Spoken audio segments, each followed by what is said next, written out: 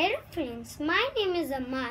Today we are going to learn about one digit multiplication.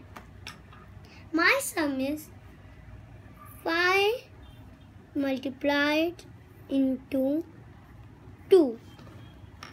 Now we don't have to uh, do it again and again. We just have to make tricks out of it. So, I will make a trick like this 5 number. I will make it uh, like a blue color. So, I will make 5 slanting lines. When I'm done making the 5 slanting lines, the other number is 2. So, I will make the two sleeping lines. When I'm done doing all these things, then can you see these things? This, this, this, this, this, this. So I will just mark it. One, two, three, four, five, six, seven, eight, nine, ten.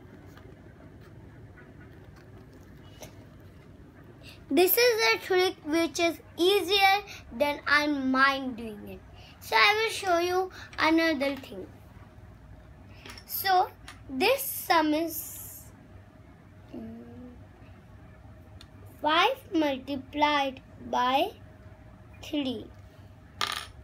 So I will do it again.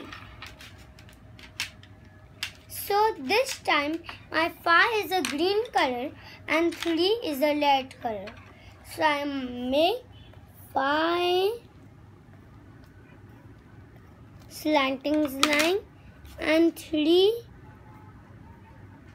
sleeping line.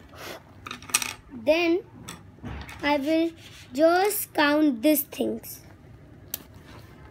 One, two, three, four, five, six, seven, eight, nine, ten, eleven, twelve, thirteen, fourteen, fifteen. So, I hope you understand one digit multiplication. At next video, we will do the 10 digit multiplication. Thank you. Please subscribe.